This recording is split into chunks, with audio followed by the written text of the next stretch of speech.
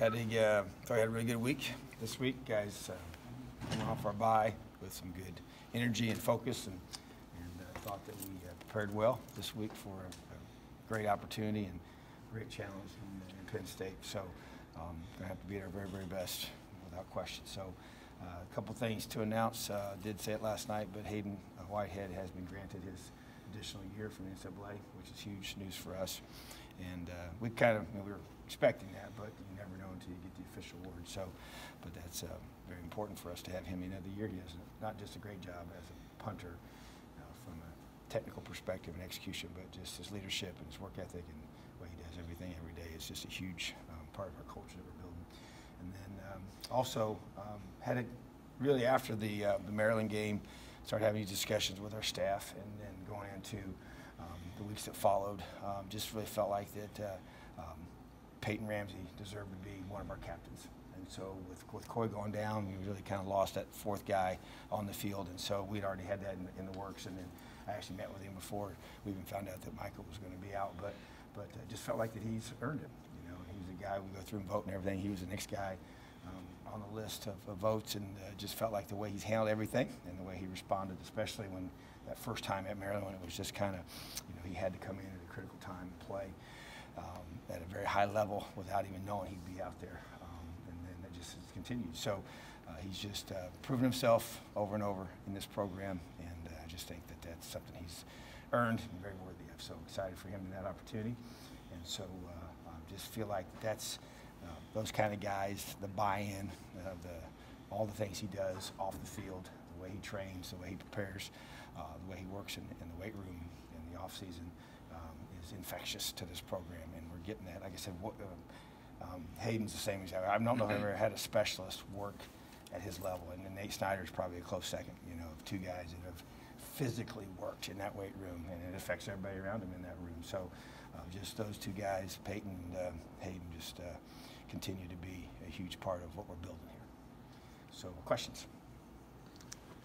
How much did you guys practice outdoors all week? Well, we got two days outdoors, two days indoors. You know, the two days when it was 10 degrees and it was snow and ice, it was pretty difficult to get out there. So, but felt like we got two really good days outside in, in the temperatures that we're going to see um, on game day. So, if the weatherman is correct, which that is not always the case, but uh, uh, we think we'll be pretty close to that, that realm. So, feel good about that. And we've been out in it before, but uh, yeah, we were two out of the four outside. I guess how do you inform Peyton that he'd be a captain and how many? pulled him in, sat him down, you know, just talked him through it, and just told him that uh, felt like he had earned it, and all the reasons kind of I stated, and just some other things too. I just thought that you know, I do a lot of one-on-ones with our guys as much as possible, so that's how I handled it. And then I actually, the very next team meeting we had, announced to the team, and and uh, matter of fact, and I told him, I said, hey, when, when I announce this, they're going to give you a standing ovation, and I never said a word to the team, and sure enough, when I announced it, yeah, I just everybody was up, and just uh, because I just know what they think of me, you know, so it's pretty pretty awesome.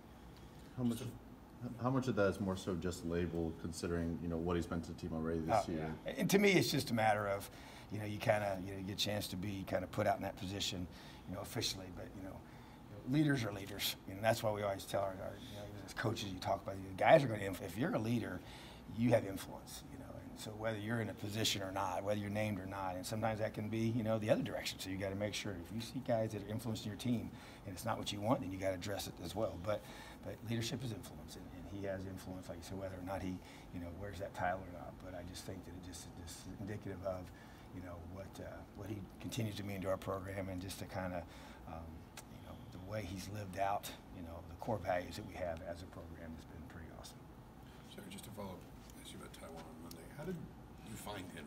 I, know he was a highly recruited guy, but how did kind of Indiana's relationship start with him from Well, first of all, we've all, you know, we recruit that area heavily, and uh, you know, I was down in there um, when I was at South Florida, and uh, um, got to know their coaches at that time, and and then you, you know, Coach Shelby went down. That's one of his schools, and so we've just, you know, like I've told before, we have, you know, we have areas in Florida. You know, we treat it like a, you know, a, a very important part of our recruiting. So.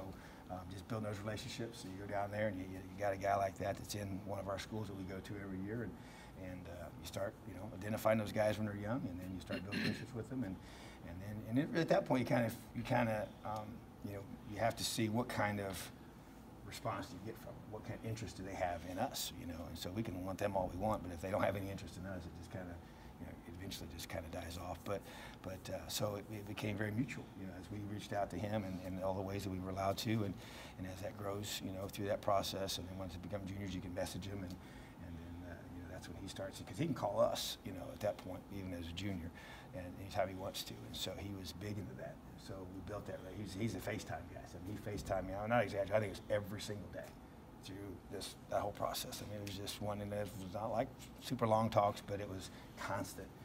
And would to my wife, and got to know our family. He'd ask about my kids. I mean, just kind of got to know Thomas. I mean, just got to know our players, and so just that, you know, it was kind of there's no question that that he was more.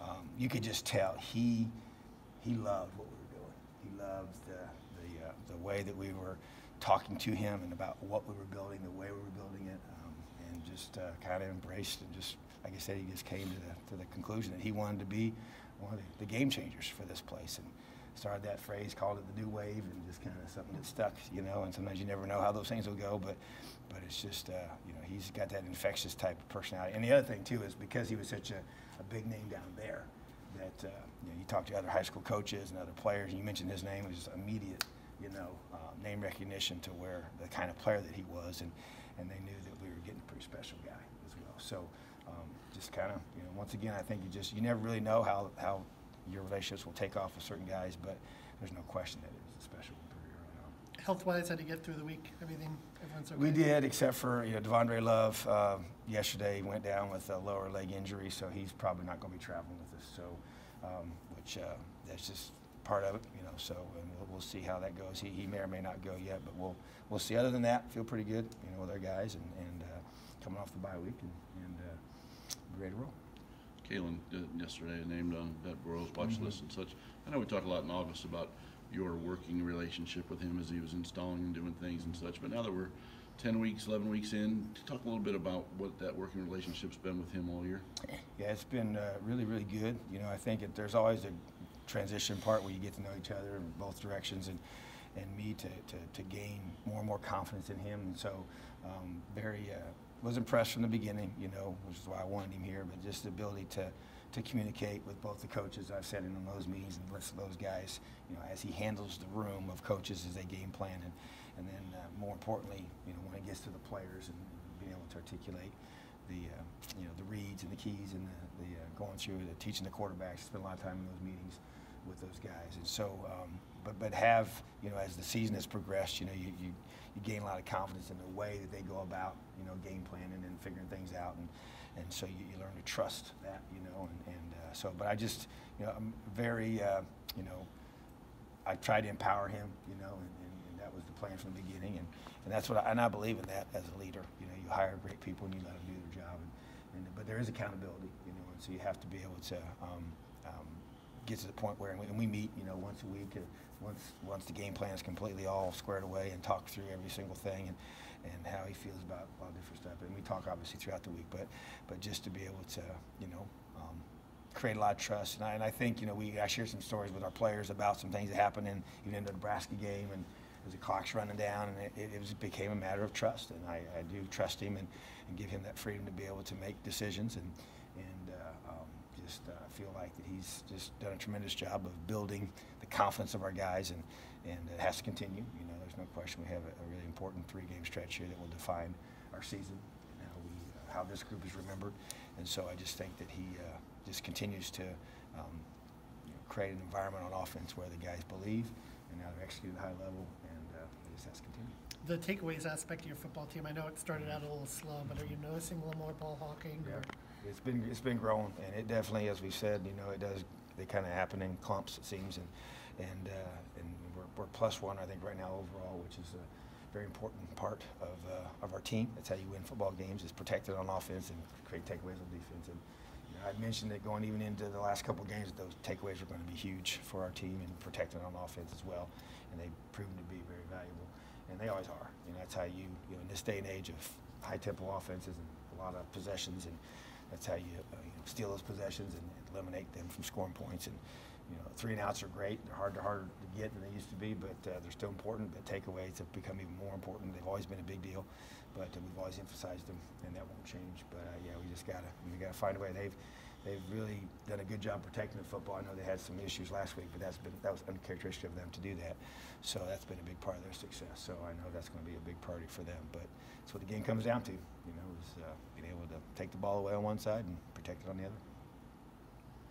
Coach, I, I know you mentioned the exploratory surgery with Mike Yeah. Before, and was there a second surgery required, or were they able to do the procedure? they got everything. When they did the exploratory part of it, they were able to figure out exactly what the issue was and then get it get it cleaned up from there. But yeah, there's been no other. Now it's just a matter of just sitting down and we got a hell. We're working on a very very comprehensive plan to to get him rehabbed and recovered and then also developed. You know, How to are, get how some are good his meeting. spirits?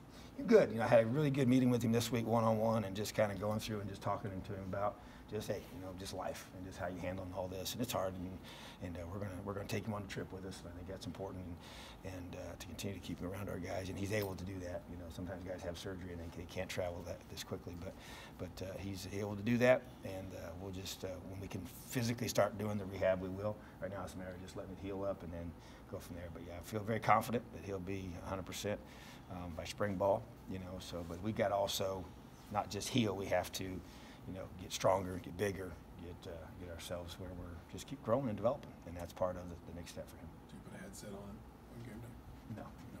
we only get so many that we can use. Yeah. All right, thanks, Tom. Awesome. Thanks, Thank you. Coach. Coach.